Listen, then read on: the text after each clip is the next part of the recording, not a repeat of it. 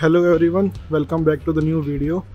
So right now i am standing in front of the main academic building of altai state medical university. This is the main academic corpus you can say academic building where most of the classes of students take place. So right now like there the winter is already here.